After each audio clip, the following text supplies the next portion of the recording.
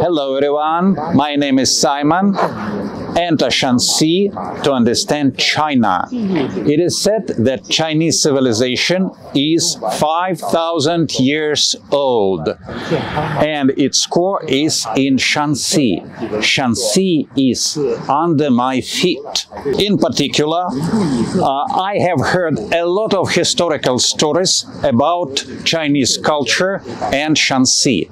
And now I came here to explain you its civilization and cultural codes. Let's start now.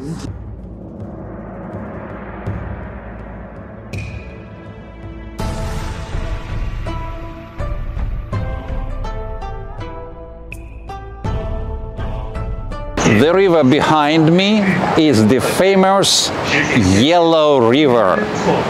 It is supposed to be the mother river of Chinese. I know you may not hear my voice right now because now we are at the most dangerous part of the Yellow River, which is called Hukou Waterfall.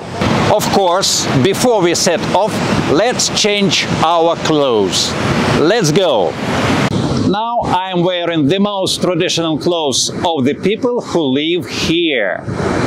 They have been wearing such clothes for generations.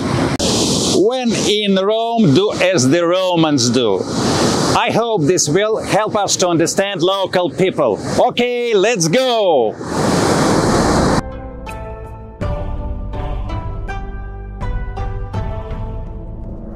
I have actually seen quite a few waterfalls, but this one is a real yellow waterfall. The Chinese call this yellow river the mother river, and I think it makes sense. There are several symbols of China, like pandas, Chinese Kung Fu, and the Great Wall.